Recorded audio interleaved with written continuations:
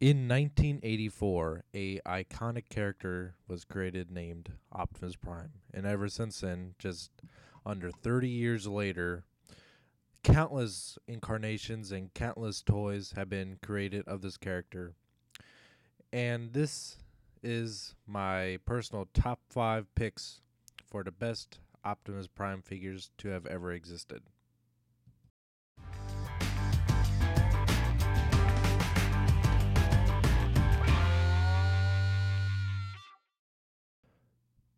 Original masterpiece Optimus Prime is a huge milestone in Transformers.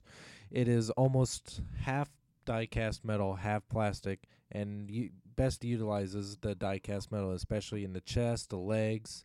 It is the probably the first Optimus Prime toy to actually have a removable matrix of leadership that was not just added on as an accessory.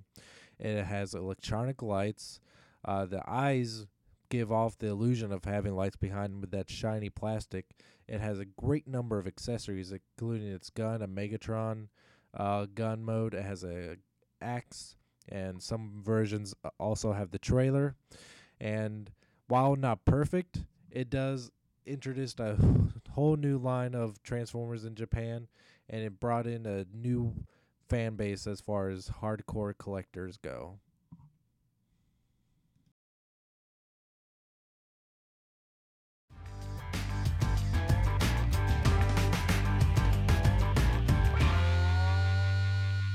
Out of all the different Japanese exclusive Optimus Prime characters that have came out, uh, ranging from Car Robots to Galaxy Force, the Galaxy Convoy from Galaxy Force, uh, Galaxy Force is by far the best, uh, also known as Cybertron Optimus Prime in the United States.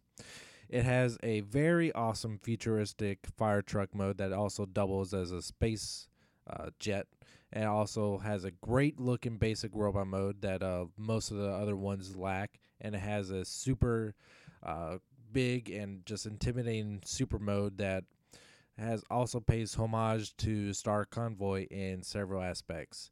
Also, it it's uh, the only one of the Unicron trilogy that features a removable matrix of leadership, and is great on its own, even if if you don't have any of the other robots that can combine with it.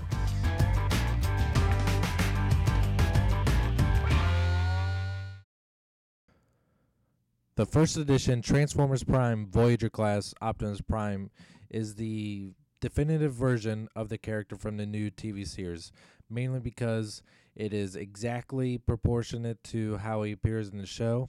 It doesn't rely on gimmicks. It the transformation is brilliant, even though it is just a upscaled version of the original deluxe, but it just does everything uh, perfect. Uh, it's the perfect size, and it's a real shame because of the cancellation of the U.S. A lot of people won't have a chance to get a hold of him, so it's that's made this figure highly sought after. And black market prices are high, but I think it's worth it because any Optimus Prime figure uh, any Optimus Prime fan should get a hold of this figure.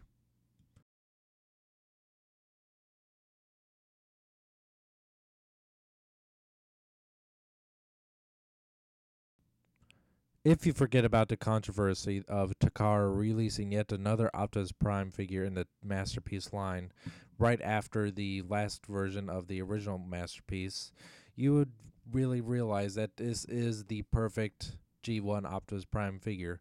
It has a really great looking truck mode. The transformation is really interesting without being overly complicated, and the robot mode is as perfect as you can get without relying too much on gimmicks such as hydraulics, lights, or just hidden features that really aren't necessary. It has an awesome gun hiding gimmick. Uh, the Matrix is awesome. The the Matrix chamber is great looking and the trailer accessory is doesn't feel tacked on. And overall, this is the perfect G1 Optimus Prime toy.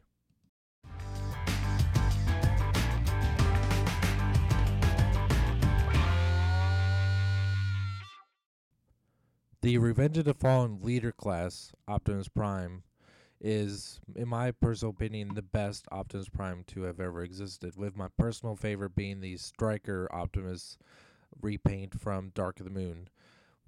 my reasoning is that it has the most complex and interesting transformation in any Transformer toy. It is really complicated, and it actually terrifies some people from uh, getting this figure. But if you get past the transformation, the vehicle mode is awesome looking. The flames look great. The robot mode is super tall, really uh, athletic looking, and just screams movie Optimus Prime more than any of the other figures from the any of the movie series go. And in my personal opinion is the best Optimus Prime figure to this date.